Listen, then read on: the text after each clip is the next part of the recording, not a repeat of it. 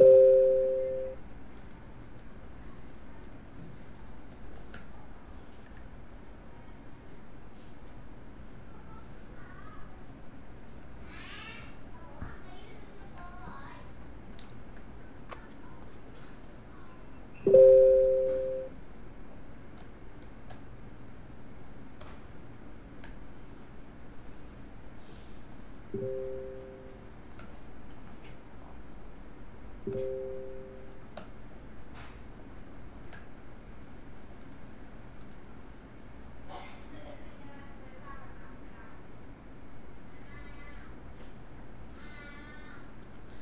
Website đào tạo Forex xin được gửi đến nhà đầu tư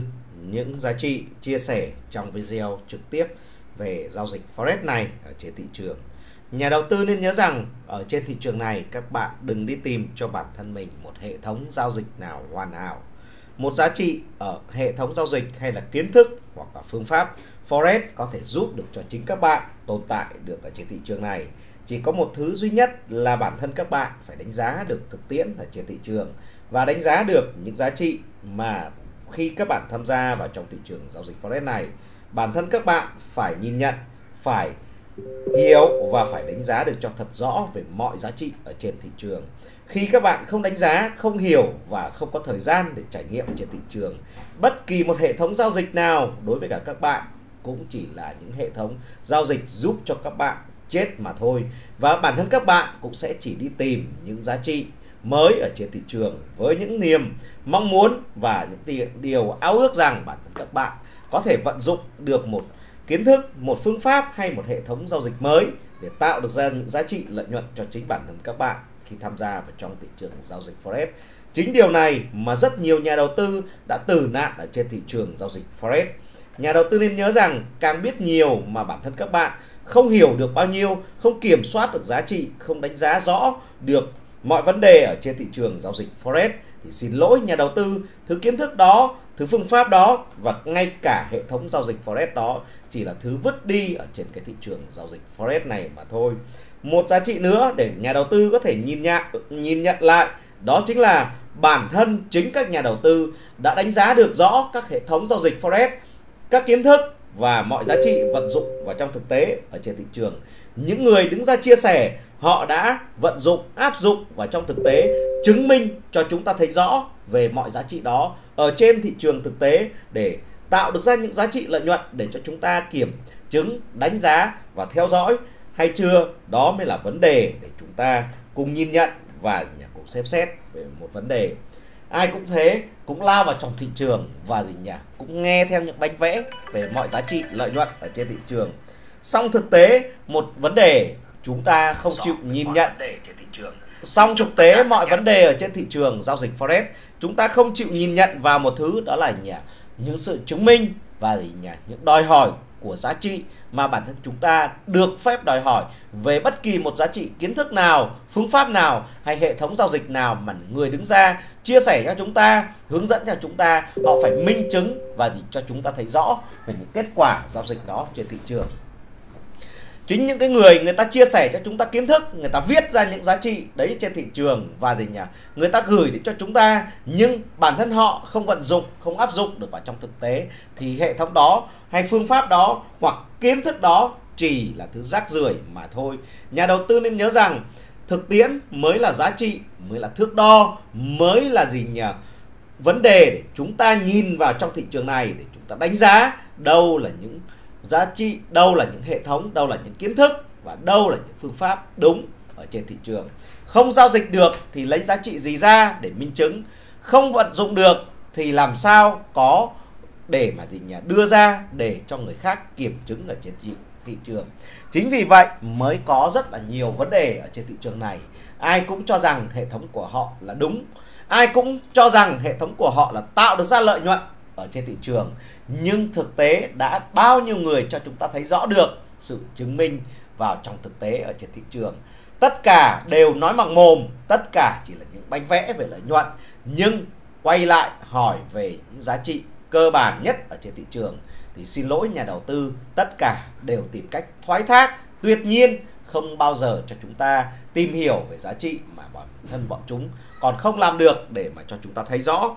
Chính vì điều này, nhà đầu tư nên cân nhắc, cần nhìn nhận và cần đánh giá cho thật kỹ khi tham gia vào trong thị trường. Nhà đầu tư nên nhớ rằng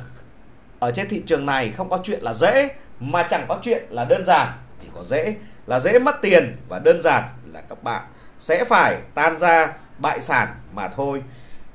Nhà đầu tư phải hiểu rằng tất cả đều cần phải có thời gian, đều cần phải có cả một quá trình để các bạn đồng hành, trải nghiệm, va vấp và gì nhỉ? Dần dần thích nghi và hiểu để mà gì nhỉ? Vận dụng sao cho nó đúng ở trên thị trường giao dịch forex. Không phải ngày nào chúng ta phải giao dịch ở trên thị trường, không phải thời gian nào chúng ta phải bơm tiền ở trong thị trường hoặc là nhà chúng ta ngụp lặn ở trên thị trường để tạo ra những giá trị lợi nhuận.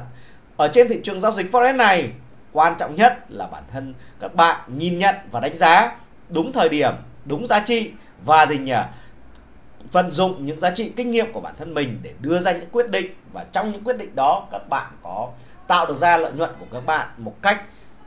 xứng đáng hay là không để các bạn nhìn nhận và kiểm soát chúng, đem về cho chính bản thân các bạn khi tham gia vào trong bất kỳ một thị trường đầu tư nào. Tôi chia sẻ để cho nhà đầu tư hiểu rõ trên thị trường này. Các bạn cũng đừng mơ mộng rằng các bạn có thể tìm được cho các bạn một hệ thống giao dịch phù hợp hoặc là tốt hoặc là có thể giúp cho các bạn tồn tại ở trên thị trường này. Nếu mà như các bạn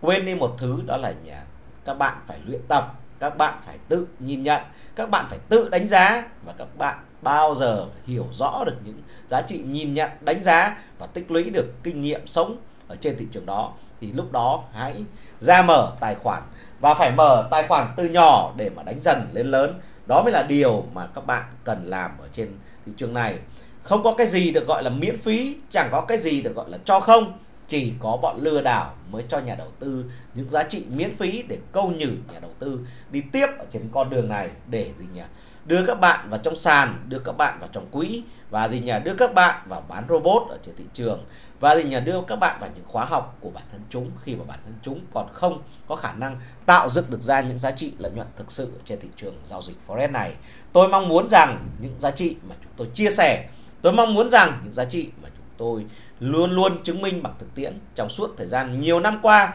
mọi nhà đầu tư có thể thấy. Từ tài khoản nhỏ chúng tôi đánh lên lớn, từ tài khoản lớn chúng tôi đánh lên lớn, từ những tài khoản nhỏ vận dụng khối lượng lớn và từ những tài khoản lớn cũng có thể vận dụng khối lượng nhỏ. Tùy thuộc vào phương pháp, tùy thuộc vào từng thời điểm và tùy thuộc vào từng giá trị mà chúng tôi đưa vào trong thị trường cuối cùng ở trên thị trường này, mục đích là làm sao tạo được ra lợi nhuận và đem được về cho chính bản thân chúng tôi ở trên thị trường. Trong thời gian qua thì bản thân chúng tôi, các bạn thấy những video tôi chia sẻ liên tiếp ở trên thị trường là tôi đã sell ở những vùng gì nhỉ? 89 với cả vùng 68 ở trên thị trường và ăn về ở phía dưới là vùng 71 bọn tôi đã take profit hết và thoái tiền ra. Trong thời gian này là thời gian chúng tôi nghỉ ngơi ở trên thị trường. Mỗi khi chúng tôi ăn những lệnh lớn ở trên thị trường thì chúng tôi sẽ nghỉ ngơi. Không nhất thiết lúc nào chúng ta cũng phải giao dịch và tồn tại ở trên thị trường giao dịch forex. Quan trọng nhất, chúng ta kiếm được tiền và giữ được những khoản tiền đó để mà gì nhỉ? Phân bổ sao cho nó đúng và tùy vào từng những trạng thái biến động ở trên thị trường mà chúng ta đưa vào. Đó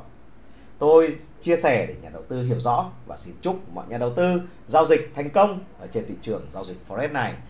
Xin cảm ơn mọi nhà đầu tư. Tôi là Trần Phúc Minh, chủ của website đào tạo forex, người duy nhất trên thị trường giao dịch forex này, dám chia sẻ và chứng minh bằng thực tiễn cho nhà đầu tư.